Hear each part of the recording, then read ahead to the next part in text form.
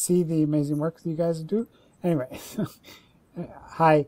Um, again, I'm Paul, and uh, you know Marina, and you guys know Celia. And um, Lexus, are you here? Or hello, hello? Uh, I'm here. You're here. Okay, great, great. And Crystal, welcome. Um, and both of you have brought multimodal work, which is great. Um, I thought we might start by your saying to us, um, and I'm already off the agenda, but I do have the agenda. We'll, we'll get back to it. Why don't we Why don't we start by saying something you did today that makes you feel good about yourself? That's always a good place to start. So I'll, I'll say that slower. Something you did today that makes you feel good about yourself doesn't have to be a good thing you did. Makes you feel good about yourself um, either as a as a professional, as a student, or in your life in general. It's up to you. And Celia, um, you start us off. Start, yeah. I went to a school, a public school in the Bronx. Uh, it's called Penn Academy, where most students speak Spanish and they hardly speak English. And I observed the teacher, who's my student in in teaching internship. I, I feel great about, you know, ha- having to be able to help the teacher to better uh, the delivery of his lesson through our you know conversations pre-conferences etc so that made, made me really feel good. And also driving to the place and finding a parking spot in a place in a place where there it's so difficult to park. So that makes me really feel good. Cool. Thank you. Crystal why don't you go next Oh, uh, sure. So I walked five miles today, and I'm really happy because I got sunlight and exercise, and I'm I didn't pass out.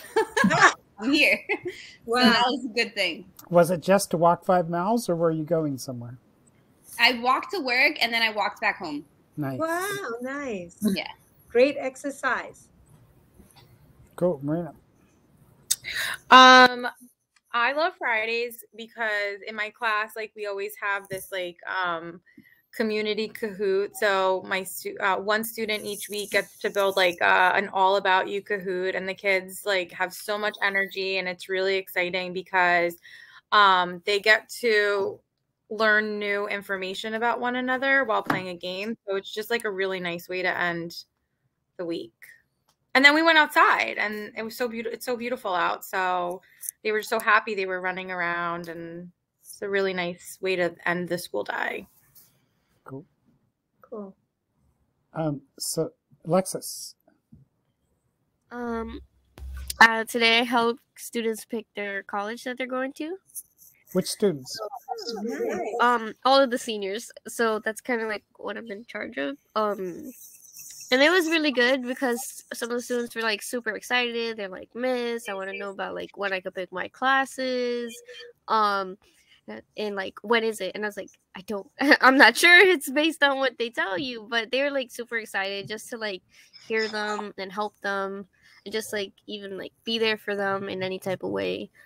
Um it was really good. So wait so explain again though. You you help them just know what college they're going to? Is that what you said? So I help them decide where they want to go. Oh. So oh. we've been like I've been through with them like the whole process, like filling out FAFSA, filling out TAP, applying for these mm-hmm. schools, um, getting their um essays in, like helping them edit them, helping them write them. Just like I've been helping like with the whole process. So then now it's we're up to decision day where they have to pick where they want to go and they're like they're just really excited. They're are these CUNY colleges or, are they? Yeah, CUNY oh. colleges. Okay. Majority of them are going to CUNY. Mm-hmm. Very cool. So, and what what makes you feel good about that? Makes you feel good? Um, just being able to help them. Just being mm. they're available in any type of way they need me. Um, some of them like got emotional because they didn't get into the school that they want to. Some got into the school that they want to. So mm-hmm. just like I said, overall being there for them. That's ultimately like what I want to like bring to the table as a teacher, as well as you know having them learn their content. Just like you know, I'll be a memorable teacher because I was like I was there for them. They're like, okay, yeah, that was my favorite teacher, or Um, some of them say that even though I'm not a teach, like I haven't even taught them. um, because like every time they just come to me, they know like, oh, I can talk to her, just let her know how I'm feeling or things like that. Are any of them going to Lehman or planning to go? Yeah, to there there's a lot of them actually. Oh, nice. Good news. yeah. So they won't be far from you, even. Yeah, they won't. yeah. That's kind of cool. They're like, Miss, can we come back next year so you can help us again? I was like, I don't know if that's how that works, but okay. cool. Yeah. So one thing I did today was I listened to music by one of my favorite composers, uh, Elliott Sharp.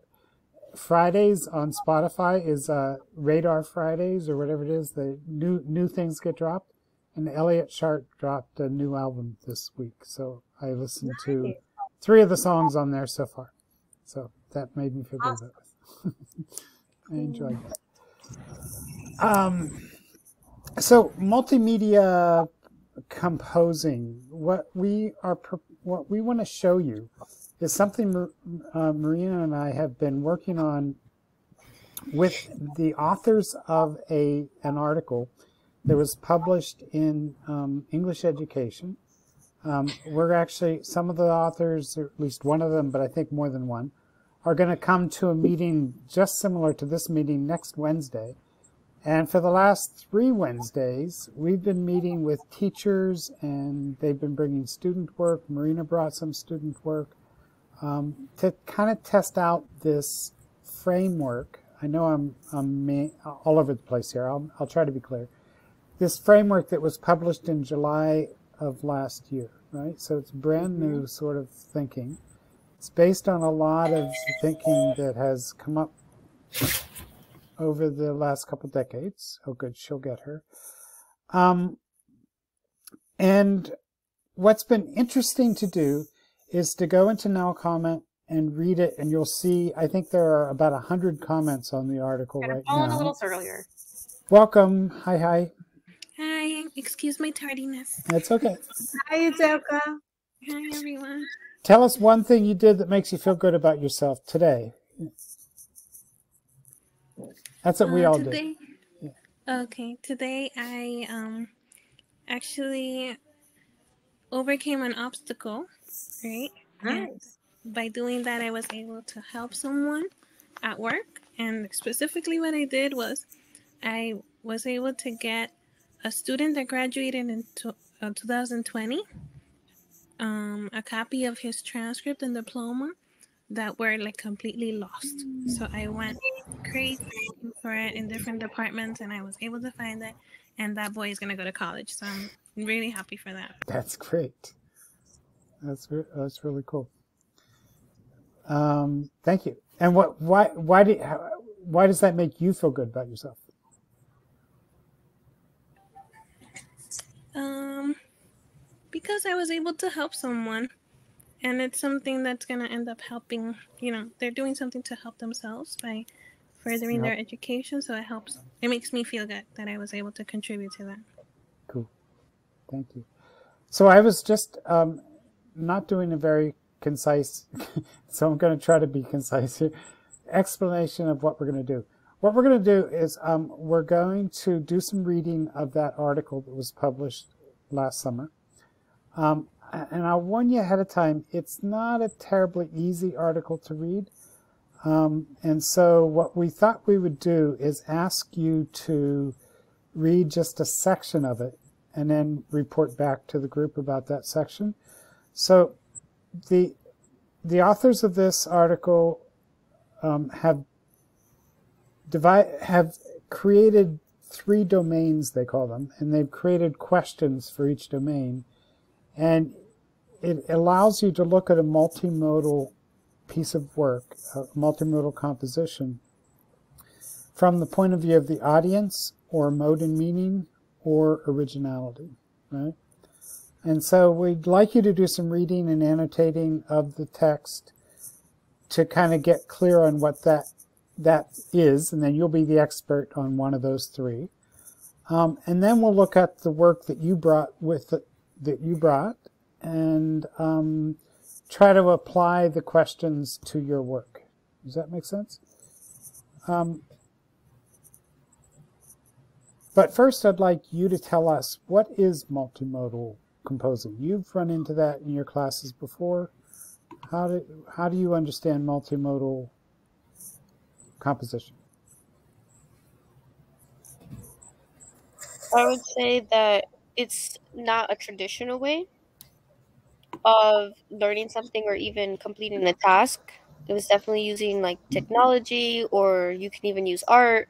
It's just something that's not your typical write on a piece of paper assignment.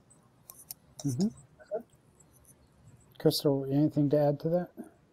Uh, I guess. Yeah, when I think of it, I think of I, I like that she said art because I didn't think of that. I, I instantly I just have such a one track mind, but I, you know, I think of like different ways to incorporate um, tech into it um, or to engage. That's just not text, you know, pictures, videos, audio. That's what I think about. Um, but what I did notice about what we read about last semester in the class that I had to develop this project for was that um it also it it it tried to like cater to different ways of thinking and interacting with material. Mm. Um, some people think about everything all at once, like a big web, and they don't go from like thing to thing, like chapter to chapter, anything like that. So it was kind of catering to those different types of thinking. Cool. Delka, have you run into multimodal composing or assignments yet? Are you still there? You okay. So I this is the first time that I hear of it. Mm. Um, but just the name is kind of like self-explanatory. so um, yeah, but yeah, it's the first time that I, I hear of it. Cool. Okay. All right, so I, I'm a little, eh, Celia, anything you want to add to that, or, or Marina? So I'm going to go to the etymology of the word multimodal. Multi means many, and modal means forms or methods, right? So Yudelko's right. This, even though you haven't probably seen something like this, the name suggests that this is a type of a composition where you have different forms or platforms or methods of presenting things. It could be audio, video, written, you know, physical document, etc. I don't know if I'm right, but we, we do a lot of that in, in math, especially during the pandemic, where we had to um, create lessons uh, via Zoom, where we have to integrate videos, uh, documents, PDF, etc., in one lesson. So that's that to me is multimodal. Mm-hmm. Okay. And over the years, people have thought about how can we assess this? And I'll, I'll say one of the things they say in the article. Um, often teachers end up using the same way of assessing that they do the traditional pen and paper stuff, right? Um, and then they miss a lot of what's going on in the multimodal experience. So what they're trying to do here is give us other frameworks to look at multimodal work, um, and so we don't so we don't miss things, and so we give better feedback to to youth who are to any maker who's making making multimodal work. Um, and I, am a little nervous about doing this, but I'm going to do it anyhow, um, just because it feels like we're isolating you. But we want you to um, somebody maybe just go off either to the blue one, the green one, or the yellow one down below. Don't forget the yellow one down below. Um, on the table, there is a, a, poster. If you click on that poster, it'll take you to a, a new tab will open on your browser to that Now Comment section.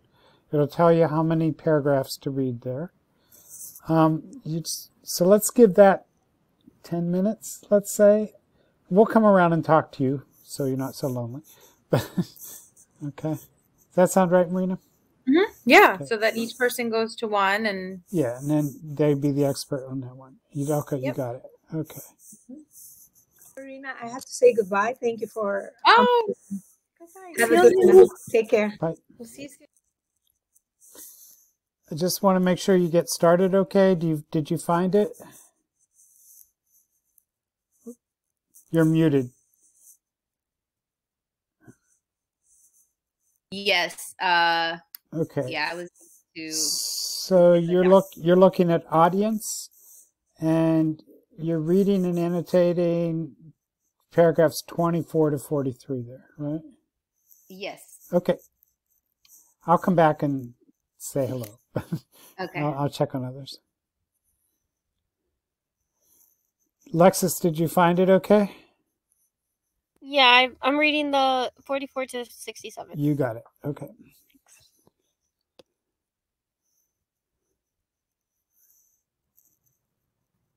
Idelka found it okay? Yeah, she's good. She's I checked good. in with her. Okay. Yeah. Mm -hmm. Okay, good.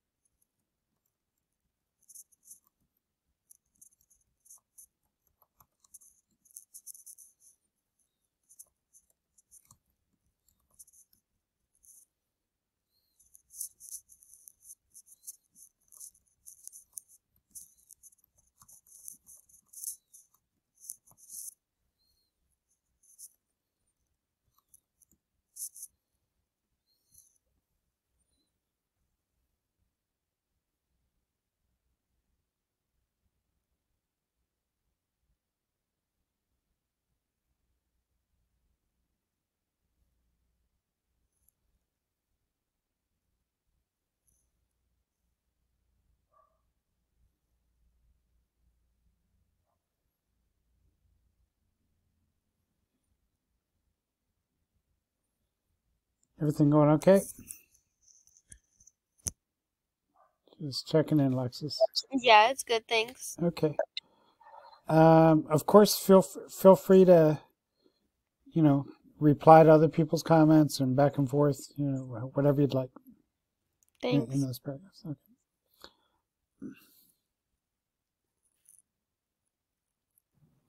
Everything going okay here? I think so. Okay. Yudaka, I just wanted to remind you that you can reply to other people's comments or make your own comment. Those possibilities there. Okay. Yeah, let's give this more time. Yep.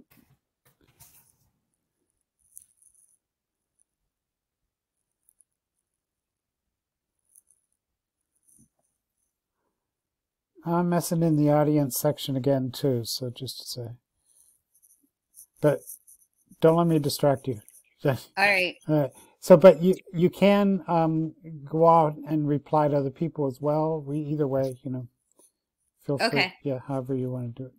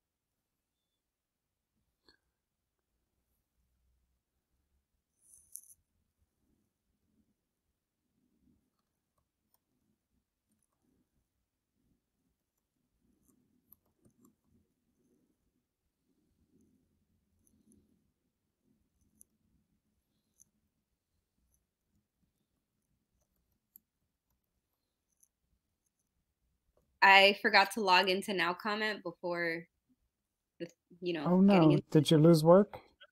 Uh, I was just I wanted to like add in some stuff, Yeah. but I will Can you do it now? in now. Okay. Yeah. But you've been reading, so you can catch up. That's fine. Yeah, yeah, I read it and I took notes on my Oh. on my notebook. Okay. that's how I can't like write, like type, but stop and read and type. Like I have to like. you No, I know. Everybody has their own. Yeah, yeah. Somebody said they went home and they printed out the article and they needed to do that first, and then. Oh uh, man, I miss I- I miss having stuff on paper. I know. I don't know why. So like take, but take. So you could use another ten minutes, right? yeah, like five or ten. Let's make it ten. I, I think it's fine. Yeah. Okay. I'll let the others know that. Okay.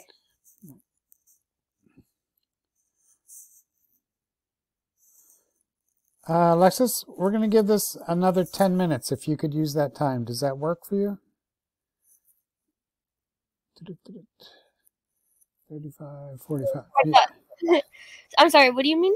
So we're going to keep reading for reading and commenting for another 10 minutes. Is that okay? Yeah. Okay. fine. So 445 will be done. Okay. Okay. Uh, I've been talking to the others and we sort of negotiated to keep going for another 10 minutes. 445 will be finished with this stage, okay? Udelka, you got that? She, maybe she's, it's okay.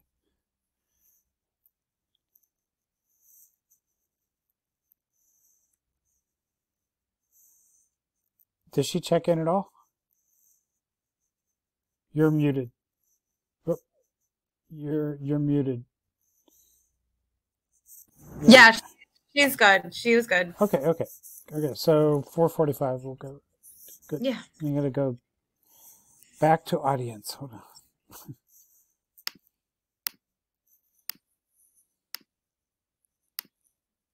You got logged in okay?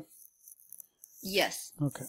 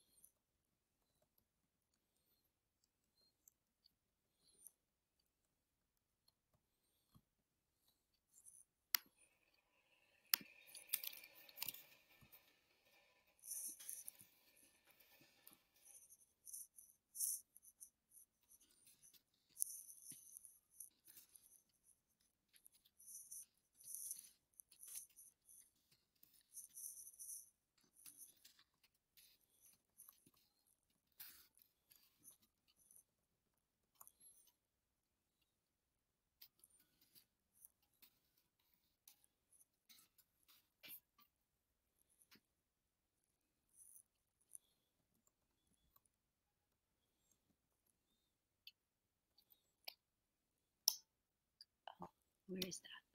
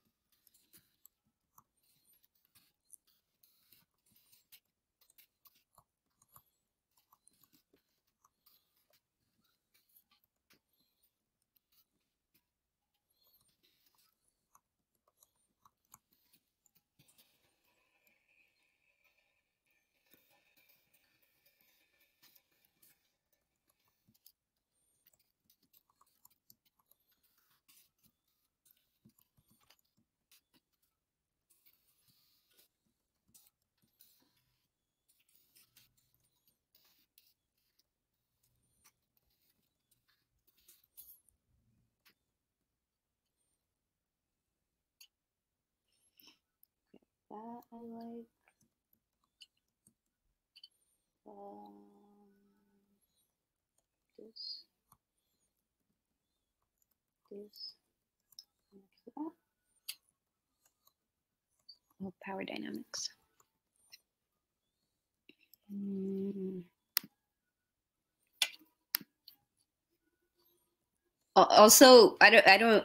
Hmm? How the, are the are the ten minutes up? Because the thing is, I will keep writing. time. So I was You- I- I know you got lost in my commenting for a good. second. Good. Good. You've got five more minutes. Oh, okay. Yeah. Yeah. Yeah. I, me too. I was looking up my. okay. All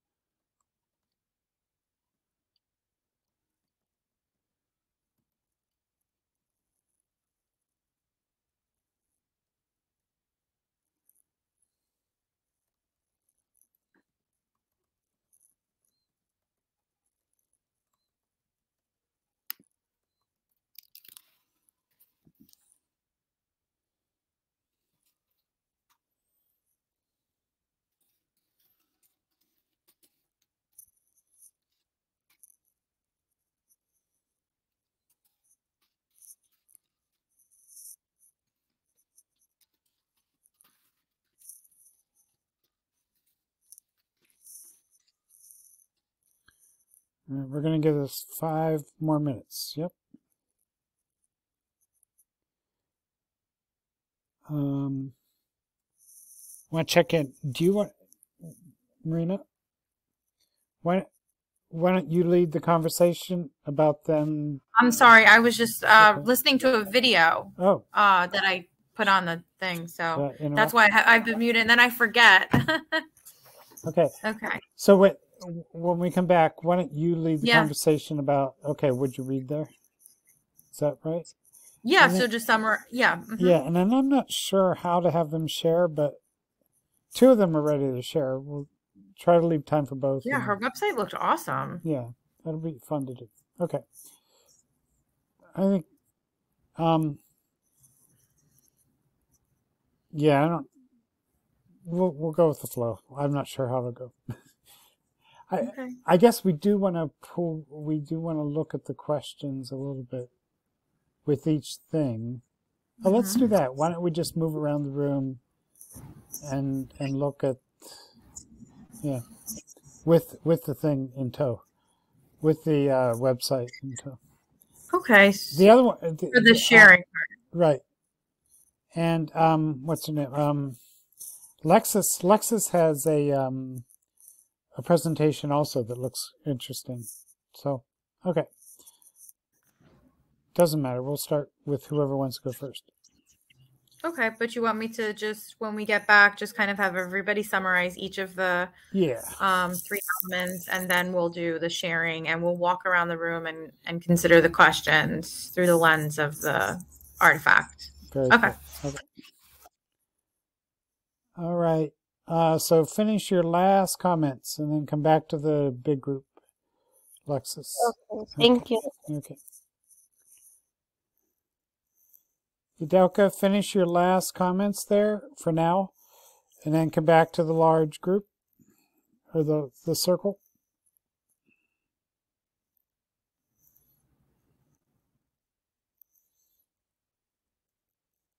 All right. You should be on your last comment for now. I think I'm good. okay. So come on back to the large group. Okay.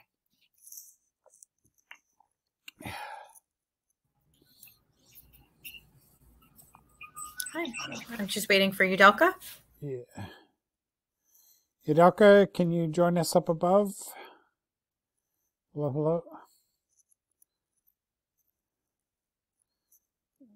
I wish I could knock on your window. Anyway. Ice cream. All right. Let's see.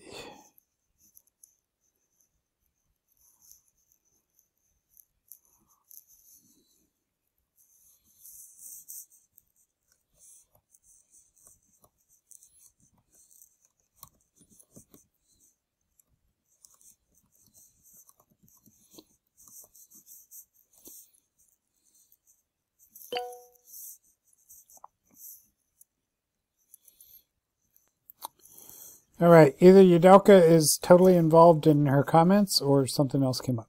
okay. She's not responding right now. All right. But we could start. Yeah. When I started? Okay. Um, so we okay sorry so we all um, got to read a little chunk of the article which i think after, for me this is probably my third or fourth time kind of interacting with this text and i know that each time i go back to it i discover something new um, so it's nice that um, everybody will share a little bit about what they read, and then we can continue our conversations and consolidate it together. So, um, would you be willing to start, Crystal, with um, telling us a little bit about the audience section and what um, that particular part of the article offers us in terms of the ideas? Yeah, sure. So, um, the part that I read was about the audience and how social networking has um, kind of shifted the concept of an audience um, because it's you you don't really know who your audience is going to be. Your audience is whether it's invisible or like an unwanted um, party um, that has access um, to your content. Um, even though you you're writing and you're imagining who you're writing to and catering to, that's not necessarily how things have been uh, how things are now. Um, so the role of the audience has expanded, and because of that, um, now it's more likely for the audience to directly interact with the writer, which is both exciting and probably unexpected compared to, um, I guess, traditional forms of communication um, or publishing or creation, creating stuff for people.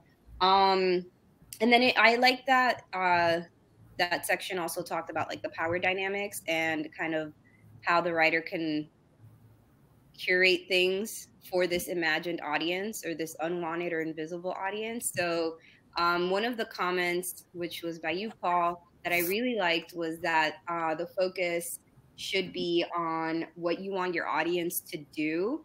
And like when I saw that, I was like, oh, okay, this is interesting because if you focus on not so much who these people are and this ideal like population or demographic um, then you can actually just focus on the experience that whoever accesses your content like what kind of experience do you want these people to have? Um, and that's kind of like how you cater to your audience even though you don't know who they are. Um, so yeah i think that's what i got out of it yeah that's that's that was really good that was really good yeah, really i I, I, the example I thought of when I read this section again is is the TikTok dancers. Like, mm. um, so you do a dance for your audience, not to entertain them, but for them to do it too, right? And that's like a different head that you have for your audience, then, right? You're, yeah. Because what you're doing is you're creating something to give somebody else an experience, um, mm-hmm. which is fascinating. Yeah. Yeah, that's a good example, Paul. Yeah, TikTok and I mean that's like a really that. good. Yeah, that's a really because I think that whole like now with this type of work, putting it out for the world to see it's it's true that idea of like you don't really know who your audience is you don't know who will stumble across your creations so and then what they'll do with it Yeah. um all right lexus can you tell us a little bit about mode and meaning thank you crystal So it's very connected to audience. You have to think about what you want your audience to do in the mode, what you want them to perceive while you're Hmm. um giving out content. Um I kind of thought of it more I didn't think of it more like the social aspect. I thought of it more like in the classroom. You want to think about what what would you be able to use to attract your students? And what parts of it do you think you also have to think where would they be lost? Where would i need to help them? Where would i need to help them navigate through the whichever type of mode that you do choose to place your content on? Um one thing that i really liked um is saying that sorry i'm gonna go it was in paragraph 46 thinking about um like they have a cult like they had a culturally linguistic linguistically diverse like group of 12th graders but they also um didn't want to like, single out the student just because they're not technical savvy or they don't know how to navigate that mode. Um and i think that's also um when we do it in a classroom like we're all exploring the mode together would be useful then you know you here have a project you pick the type of mode that you want to do um it also said like that can also limit um what students want to do like if you pick a if you tell them to do a project and they said you choose what you want to do instead of them exposing them to the different types of modes um and i also commented Hmm. on um i believe it was paul also i comment on yours comment that you were saying that like getting ready to you said that getting ready to really know the tools they're using and not the unfortunate use that you would like them to, to Yeah, we have a, we have a fight going on about that. in there. yeah it's not a I- fight. It's i not feel a like i started it too right didn't i start it yeah. You, anyway, go ahead. i yeah, started that one yeah, I'll, Yeah. I'll make sure Jane joins us. Keep going. Keep going. Hi there. Oh, hi. We're up in the uh, circle talking about the article. Um, Okay, cool. You can join us. Um. Oh wait, sorry. If that's okay. You want, Oh wait, I, Paul. Why can't I move? uh, I don't know. Click click somewhere and see if you can. Yeah, there you go. Now you're moving. Is it working now? Yeah, I think so. Okay. Sometimes it just has a hiccup. Just click on the floor and you can Yeah. also wherever you click, you'll go there. Yep. Okay. if the students are not interested in that mode they might get lost they might say okay you know i don't want to pay attention because i can't follow but getting them to explore it like different types of way you can ex- so say okay i remember when we did for me on as uh Jane, you might want to move over a little bit into the circle so you can hear everybody. There you go. mode and i was so i was very into it i remember moving around Perfect. but that also helps them remember okay this type of organelle does this. Just like that connection between the mode and having their attention be brought in like what caters to them.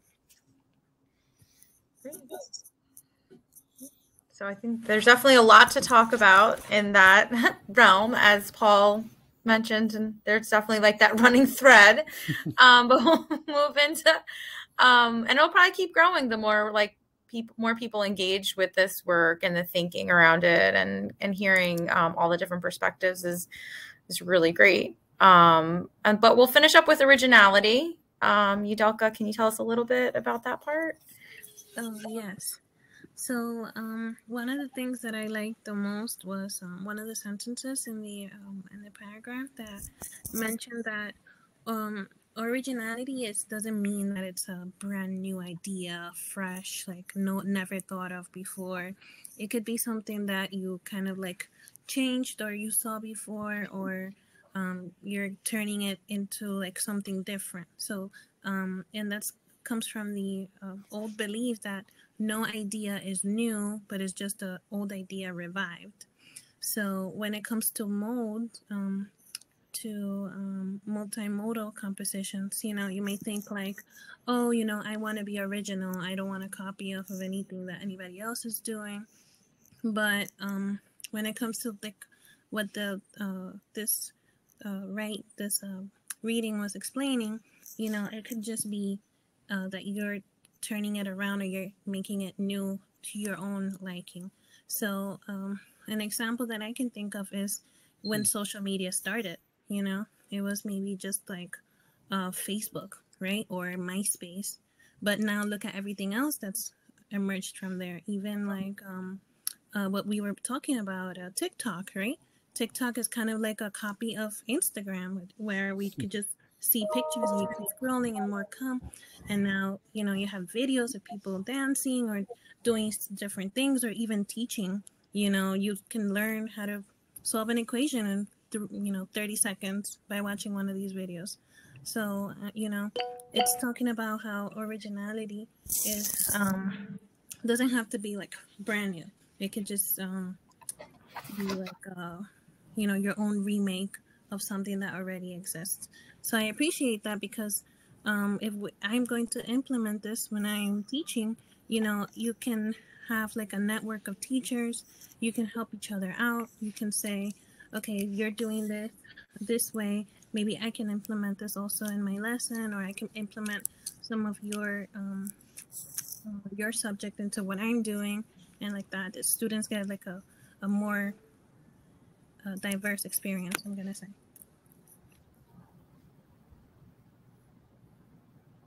Yeah, that's great. Thank you. I actually was rereading that part with you, so I was um, thinking about that as well, and I put in a couple com comments myself, and it just made me think too about um, the importance of understanding and respecting um, intellectual property and how that um, that um, ethical piece um, falls into this type of work as well if you're remixing and stuff like that as well. All right. Want to welcome, welcome Jane. Hello, Jane. Hi, everyone. I'm sorry to be late. I was in another session and, and came directly here. It's good to be with you. So our experience of this article um, is that like every time we dip back into it, there's something else there we didn't see before. So you you know we'll keep doing that. But it's also been really interesting to go from the theoretical to the real and look at actual multimodal work um, with this framework in mind. Um, it, so um, two of you, I don't know, Yudelka, if you brought anything, um, but I know Lexus and Crystal, so we'll start there did bring something that um, to share with us. And what we'd like to do, and I don't know how this is going to work out, but, but we'd like to go to each of the each of the areas, go to audience, and think about your work in terms of audience, in terms of mode and meaning, and in terms of originality. Maybe we don't have to move around. We'll see um, how that works out. Because it, it um, what what's going to happen now is you're going to share something. Um, let me just remind you also, if you use the minus key, you can like see all three of the the areas sitting there. Oh, I, I meant to mention that just so you know, theoretically, um, they have questions for each of these three areas. And then you already started doing this, but um, they also have questions for the overlaps within each. So there are actually six right? Domains, because the overlaps are there too.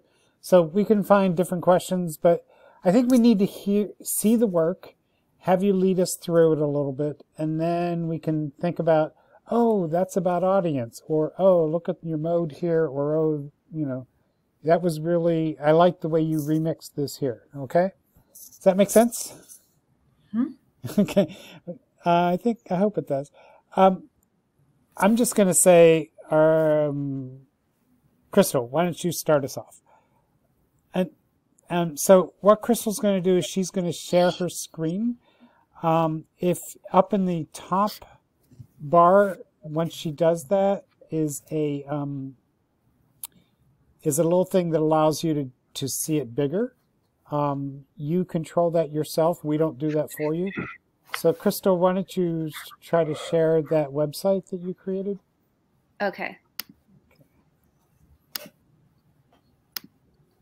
and thank you for at the last Okay. moment. Okay, so you should it should have popped up on your screen, and then on the black bar at the top, there are four arrows that say Enter Full Screen. If you do that, you'll be able to see it bigger. Okay. Okay. All right. Why don't you just show us what's here, and then we'll think about. Okay, so for uh, one of my classes last semester, we had a tech project. Um, at, we had a lot of options. There were things, uh, websites listed and applications listed I had never heard of before, so it was very exciting.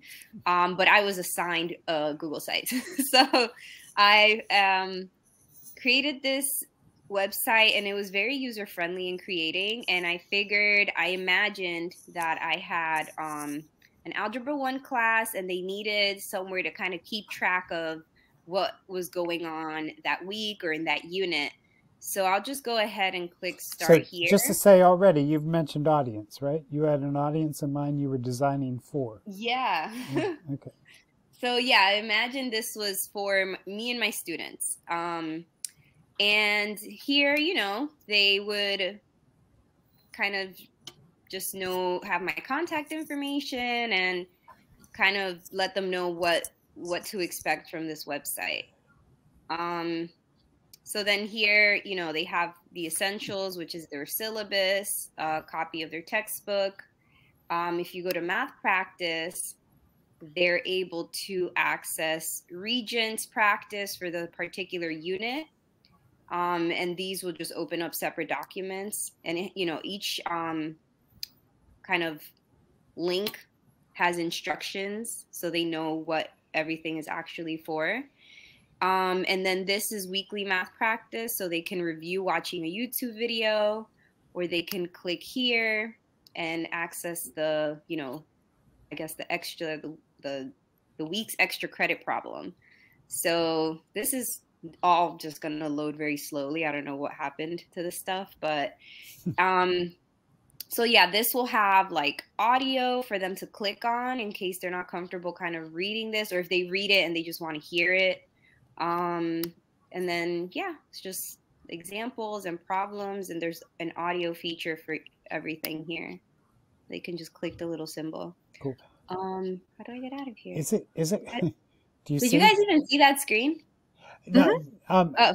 no, it's it stayed on. So when it went to when it's okay, it's okay. Oh, it probably opened to a new tab. Yeah, Yeah. it did. So do you see how to? Do you see how to? It it says show this tab now. You could you could do that. Oh, yes. Okay. You got it.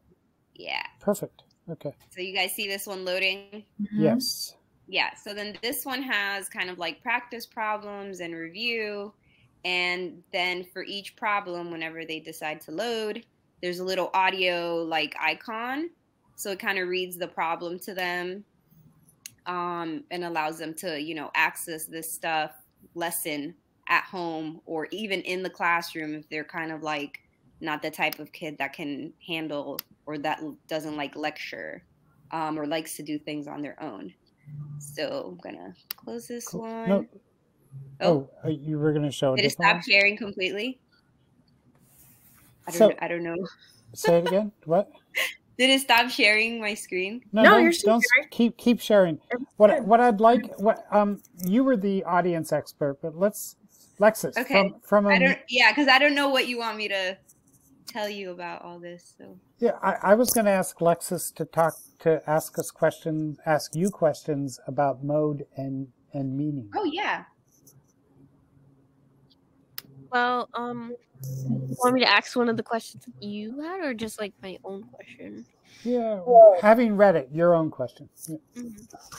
So, how do you think this mode, or what aspects of this mode do you think would be difficult? Where would you lose students, and which aspects of this mode do you think would be beneficial beneficial for your students, where they'll be like easy to navigate? You think that they'll be able to handle? Um, I imagine that they would be able to navigate um things properly. So if they don't know where, you know, if they've missed a few days of classes and they're looking for the syllabus or if they're looking for text or if they're, you know nervous about the regents i feel like they know they would be able to find everything. Um, and then when they click into things it kind of just has like a little instructions of like this is what this is. Um, i think it might not be as accessible to students who aren't comfortable with the language um, so it's something i didn't think about when i was creating this um, and i don't I feel like I'm not answering your question, but You that's are. all I No, I feel like you did. Okay. Uh, and then how do I go back? Okay, here we go. And it's loading. Um, but yeah, so I imagine that I would link games, resources, which is these are all like video. There are links to websites that have a lot of video um, for review problems and um, certain units and things like that. So Yudelka, could you pose some questions about originality? Or yeah, there you go. Or Marina, go ahead. Yes. She's coming. She's So, um, one of the issues that were brought up in my reading was um, like copyright. So, in your resources, um, I saw that you, um, well, I'm, not, I'm gonna ask it as a question. Mhm. um, how do you make sure that everyone uh, who's created these things, right? So these resources or these games, how do you make sure that they're um, that you are keeping like ethical um, by using their work as well? You know, that's something, again, I didn't think about once I created this. I feel like everything that, not everything, most of the things on here are links to the creator's um, direct content, like their website. Um, but there are two things that I um, didn't think about, which is something, the things I created, which I, you know, want people to know that, you know, you can contact me if you want more of this. Um, and then also, like, there were two things that I downloaded that um, I didn't link where I got it from. So, like, um, so. What are the things you created? Oh, the Yeah. book list. Um, that's about it. but yeah, the book list. This is something I've actually been keeping like my entire life, and it's just a book Um, list. if you showed it, you, we you need to show us that Oh. tab again. All right, here you go. It's a bit of a Loading. So Good. this is Thank an you. endless list I've been keeping of of math books, math reading, math fiction, nonfiction, things um, helping with proof, um, things helping with you know college math, and then but my favorite is obviously the math fiction down here because it kind of get, allows you to enjoy math in a different way and i always imagine that like i could share that with students at some point somehow. Um and then i was going to add like research articles about um like inter interdisciplinary ways that um you can enjoy math through music or poetry art things like that. Um but yeah this is just like this is something i i created and i didn't even put my information on it so That's cool. that's something that I need to do. So I I just, Yeah. I mean, I, there is a lot of worry about um, copyright stuff. My reading of the article, I gotta say, is that I think they're asking us to not, that maybe we don't have to be so worried about all that, okay? Because we're always remixing stuff, um, and and there's fair use and so forth, and so maybe instead we should just be aware of what when we're using other sources. Be able to say i use this source from here. And, and and also be aware of you know what is coming from what's original what's you know i'm really passionate about the way you just did there crystal. So i think it's about awareness and not about and not about worry about you know what reusing other people's stuff. Yeah, I understand that. Because, like, with me, I feel like when you're a creator, or like, I don't know, it's just like everything is meant to be shared. That is like knowledge and things you create. You don't create them for yourself, just, you know, for you to enjoy them privately with no one else involved. So it's like, I feel like as soon as you give, put something out there, it, you're allowing it to to go into other people's hands and for other people to take it and run and you know um if they get ideas or if they get inspired um it shouldn't have to be all these like little checks and balances for them to be able to to create with it themselves. So i like um i kind of was skimming through the originality stuff um when Yudelka was talking about it and i saw that there were comments talking about how it things are really like they transform and you know they they just they change and you build on stuff and I, I really like that because it's like you're not kind of copying and you're not borrowing and you're not recreating it's just it's it's transforming and it you know i really like that right and, and for students it's about the awareness of how much you're transforming like if you just take something and put it there maybe that's not transforming but if you adjust it and change it. And, yeah, right. The um, just back on audience for a second. You created this for what grade? Uh, I imagined it was like ninth grade, ninth right. grade. But yeah. you also created it in a class, so there was yeah. so I actually created it for my peers and um, my professor, uh-huh. right, to review. And you put it up, and it's out there in the world, so yeah. anybody can come to it. So yeah, it's, it's, public. I couldn't find it for like half the day either. so I was like, well, where it's sort I, of public. Where do you keep track of your websites? Um, Crystal, I, yeah.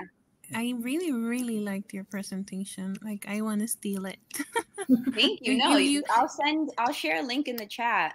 Yeah, I wanna. I wanna see that website to see if I can uh, reinvent it. it. also for science. Definitely. So what I did, you know, it was really fun creating it because all those icons are pictures that I like I I kind of found all these pictures of things, um, these little icons, and then I picked and chose the ones that I wanted, and I picked the font and the colors and the background. Like it's like you set up like the, this beautiful PowerPoint slide, and it turns into a website, and then you can connect it to you know your Google Classroom or to anything else, and it's it's just so much fun. It was so much fun. Cool.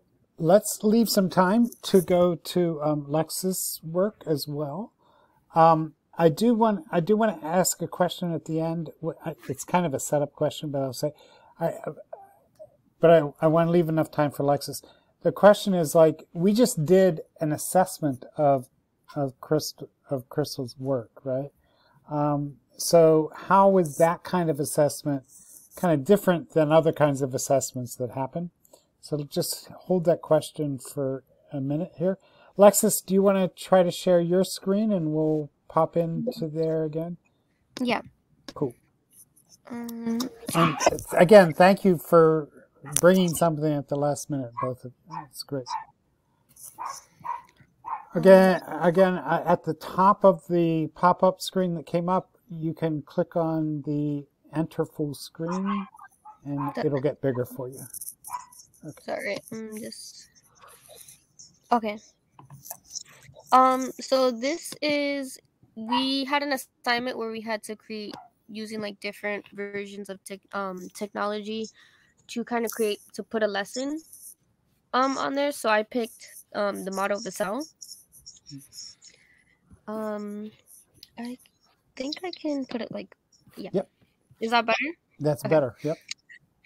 Okay, so um, mine says model of the cell. Um, and mostly talking about the organelles that are involved, their function. And when I made this, I had this in mind for in ninth, my ninth grade class, and they are level 13, so meaning they have the highest English proficiency as well as academic academically they are um, at high standpoints. That's a very um, specific audience, I gotta say. yeah, because so, our school is cool. broken down. It's broken down from so in ninth grade there's 11 12 and 13 um, 11 is entering. 13, I mean, 12 is 11 is entering, like on the LSATs. Um, 12 is emerging, and 13s are usually they were born in the country. They're very proficient in English. Um, there might be a few transitioning students in there as well. Okay. Um, yeah. So I picked Nearpod because I felt it was very, it's very interactive. You can also monitor the students while they're doing work. Um, I can show that in how that's done. But By the also, way, you're answering the question about media right now, right? And mode, mode, and meaning. But go yeah. ahead. Sorry. No, Um, it's very interactive, which is what I wanted to kind of like grasp. I wanted the students to be like, "Wow, this is interesting. This is fun." At the same time, while they are learning content. So not only the activity is fun, but the content within itself is memorable. Um, so the first task um is kind of recalling on the lesson before, which was life processes. And what they had to do is it's a game called Time to Climb. And what it does is that each student you can't see it through this mode, but each student is kind of like on a mountain and they're answering these different questions and whoever gets to the mountain first is the winner. Um but it's just different questions within this was the do now. Like five simple questions about which um life process they had learned about what which process does the image match to. Um then afterwards, sorry, um, we had the objective where students were to read it out loud. Um, so Nearpod is also kind of like it was meant to be like Nearpod and Zoom together. Um, so the students would read the objective. Well, one student would read the objective to the class, and then we'll get into like the lesson and what we're doing. By that, can I just, I just want to clarify. When you say it's Nearpod and Zoom together, you're imagining that this is a remote classroom? Yes. Okay, It could also be done in person. The student would just have to read out loud for us the objective. got it. I did do it over Zoom, like I presented it to like the student teaching class, um, my peers, in a Zoom meeting. So it could be done both ways. Okay, got it. Um, then once other student reads the instructions, and for this, this was like the main activity, um, where they're like taking down notes and learning about the different type of organelles. Um, they had to click on this interactive work um website, which is on the next one. Let me see if I can open it. Can you see my screen? Uh, if you went, if you went to a different tab, you're going to have to go up and hit the show this tab now. Do you see that? Um, I do not, because it came up as a pop up. Oh, yeah. Um, I can copy the link. It's fine. Can, If you can get it into a tab, then you can see. it. mhm.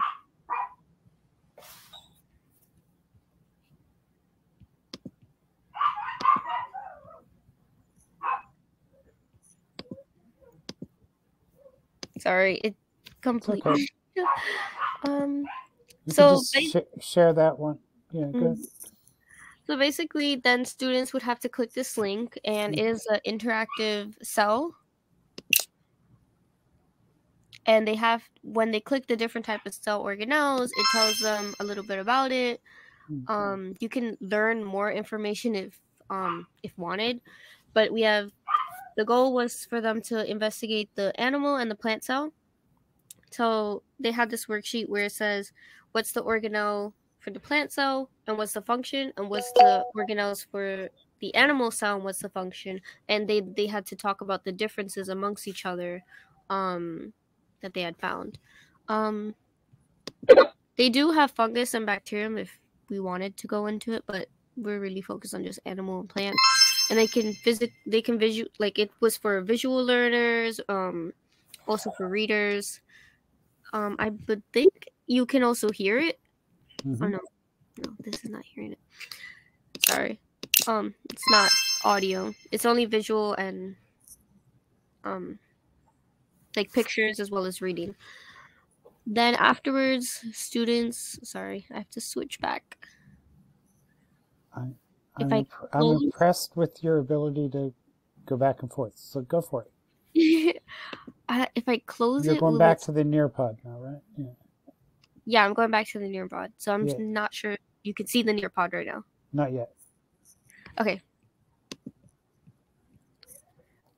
Um, okay. There you go.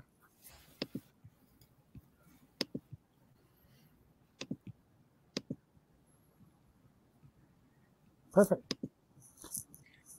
But I am So- I, am also looking at time here though too. So yeah.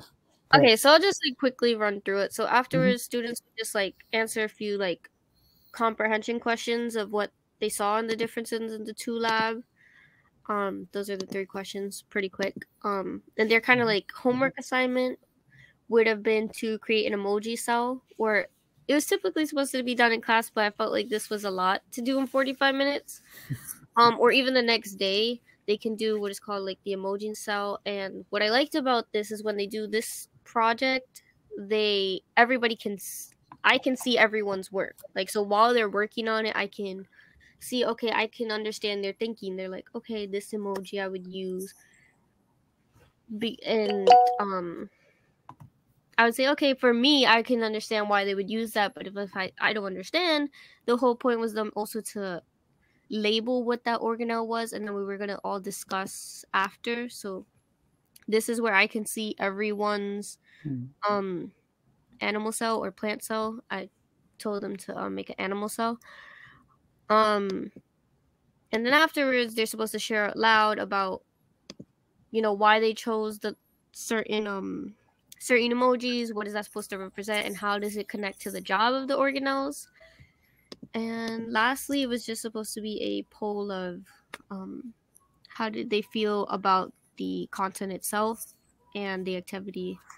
Um, Cool. so I ended it. So thank you for sharing. Let's let's go around and ask some questions now. I mean, you were um, Crystal. Do you want to take on the audience questions, or anything else too? I remember. Sorry, you mentioned it was um, for specific uh, like group within a class or specific class in a grade. Can you remind me? I'm sorry. Right. So this is for class 13, which is typically the most um, proficient students. The students have the highest proficiency in English, as well as their academics are usually the highest in this group level. Okay. And then, um, I mean, I guess, yeah, like the audience was the students, but also, um, I'm not sure. It's like, I'm, I'm I lost my train of thought. Oh. Yeah, so my audience was definitely the students, and I was supposed to try to make it as interactive, but also as informative, where my peers could also um, understand like how to follow along with it. Um, I would say guess- the sorry. No, one of the questions I was thinking um, is that you're designing for inner One of the things they point out in the article is that what's different now is you don't just have an audience who's going to read something. You ha- it's an audience who you want them to do something, and Mhm. your your example really does that, right? You- yeah. You're asking for activity on the other end. Yeah. I, Right. it's kind of obvious. I'm just pointing it out. But yeah it definitely had two different type of activities for them to do one was more um i would say academically centered where they had to learn about the different animal cells and the other version was them like catering to the creativity side and they really had to think out the box to connect organelles and emojis Yeah, cool. Yudelka, Yeah, I do, feel like do- um. Oh, sorry. The experience, like here, what she wanted her audience to be engaged with, and with the experience she wanted them to have, was just like perfect. It was just, it was perfect. uh, Yudelka, do you have any ori- originality questions that you could pose? Yeah. Uh, yeah, I guess I could post one. Um, Alexis, it was beautiful. I really loved your slides too. thank Um, you I want to be a student in your class. Me too. But um, um, from uh, one of the questions in my in my little boxes, from where uh, what inspired your creativity in this in this one, or like where did you get your idea to come up with this for your class? Um, so I definitely got this like like an idea from a teacher inspired me. So in her project, she had also where they were working on cell organelles. However, they were to make like an Instagram post for the cell organelle. They had to put comments. However, um they had to do it for one organelle that they were focused on. So I was like, you know what, I want them to Hmm. focus on the whole cell as um like and all the different type of functions that play into it. So that is also that's one inspiration. So I kind of like took the idea of you know giving the cell kind of an animate um or lifelike feature. I would say took that idea. Um, Nearpod is just something that I know that it was we were had like a technology workshop and they're just like giving us a bunch of different resources and that one seemed like the most interactive also while it's able to it's easier to assess and monitor your students especially like during like we're pandemic um time when it was um introduced to me so that's also like what inspired me picking this type of mode Yeah. So you're answering some mode questions there too. That's cool. I- you had different things going on too. You had like little pictures where students had to create their own. So you had different things going um, too. Okay, you did great. Maybe she had to go. Uh, So, um, so um, let's uh, let's pull this together a little bit. Uh, so, thank you, thank you, thank you for presenting. The, the, those are wonderful presentations, and um, you did it. You pulled together last minute for us. Um, the uh, what I'd love to hear is how you're thinking about the theory and the practice. Now that we've kind of put the two together. Um, do you find these useful categories, these audience, mode, meaning, and originality, or what are you thinking about them now? Um, absolutely. I I liked um how in audience they mentioned like power dynamics and like you know looking for potential uh, conflict with you know what the audience might um, encounter with you know uh, whatever they're interacting with. But I also um, kind of like that really open communication that the creator will have um, and that immediate feedback and um, the data that they immediately have access to from creating something and kind of like publishing it and putting it online i feel like that's something i didn't think about at all um, and then having that kind of be a reality of creating things in like virtual spaces it, it, it sounds a little overwhelming but it, it's actually great because you get to kind of um, close off those loose ends and plan for that. So that's something i put in my in the chat because i apparently couldn't think about it a few minutes ago but like with alexis's presentation i just i loved how she had that feedback even though it was just a, like a poll it was that feedback section because she's controlling that um you know the that communication from the audience um mm-hmm. and it's kind of like you know here put in your two cents but that there's like a space for that so creating like a space for that um is pretty cool Great. Alexis, what are your thoughts here at the end? Um, for me, it's definitely seeing how the three type of um aspects of a multi, sorry, a multi, is it a multi-model? I'm so sorry. Um, kind of all play a role into what we should definitely choose for our students. And for me, is especially important because there are their differences in you know english language development um as well as how familiar they are with interacting with these type of modes so like i said for thir- 11s they're probably just coming into the country. They're not they haven't been introduced for these type of modes so you have to kind of introduce them like together. We all have to learn about it together. Rather like let's say nearpod i when i work with it with my 13s they're maybe a more familiar easier to like pick up the pace when um introducing this. But while i do have this great mode it may not be entirely useful for a group such as like 11 um entering ELLs just because of like the cultural aspect that they bring to the classroom their linguistic aspects um it's definitely very like useful to see those type of things going into play when we pick how to um how to uh, it's direct like instruction and things like that wow. Great. Yudelka, are you still there? I'm here. Good, good.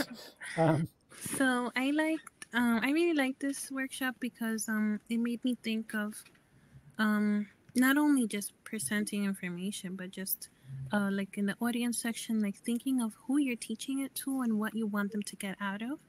Right, that's kind of like what I got from audience. Like, what do you want them to get out of this? What do you want them to do with this information? Um, and the mode is how are you going to present it? Um, in the examples that you guys mentioned, there was um or, or what I could read from it um like there was a teacher saying how instead of um giving the students a long essay to read she gave them like short um Instagram posts. So they're still reading the same material but it's um, presented differently and it's also giving them uh, it's making it more meaningful to them because they're using something that they know or that they like. So um, you know thinking of your audience you know young students that like technology and in, implementing that into your um, your lessons and when it comes to originality you know you can you can uh, have an idea from somebody else's idea and things just continue to improve that's how we've gotten so far in technology and society so i, I that's kind of like what i got from the workshop I love your summaries. Thank you. Thank you. Um, and we want to respect your time. Uh, if, but if anybody else has anything else to say, uh, jump in. Great.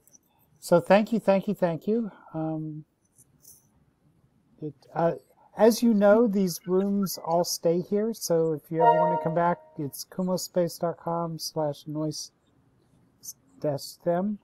Um, you can find the article here again if you want to check it out and see what other people are doing. Um, I, I, I can't, I can't not invite you, so I will do. Um, on Wednesday coming up, some of the authors from the article are going to be with us, and we're going to be looking at um, another teacher's work. You are welcome to join us. We're going to do basically the same thing we did here to, today. So thank you. Marina, you have anything else to add here at the end, or Jane?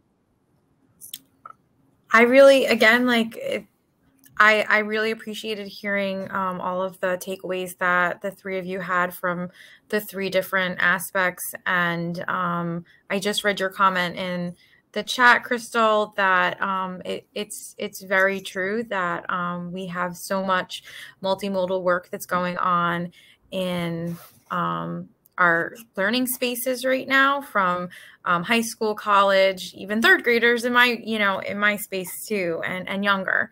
Um, so it's pretty exciting um, to kind of think now um, about this work and um, and how we can assess it um, and how we can support students as they are creating. I, I just wanted to add quickly at the end um, as someone who's been more of an observer, um, you know, it brings me back to the first workshop when we were thinking about descriptive practice and review and looking at children and just the ways in which all of those kind of foundational experiences for a teacher inform how you think about, you know, multimodal composition because it kind of feels like it gets to the underneath of it all of of why. It can really direct you in you know into what you actually end up providing you know to students. Thank you all. Um, I, you're going to see us again. So sorry to say that. No i'm not sorry. We're looking forward to seeing you uh, in the summertime. You'll you'll learn more about that Exactly. Yeah. Okay. Looking forward. Okay. I remember when we first got into Kumospace, I was like, whoa. whoa But then I was like, oh, this is like a Sims Zoom. I like it. there you go that's exactly what it is that's true okay all right thank you all Have a good night. good night thank you thanks everybody good night.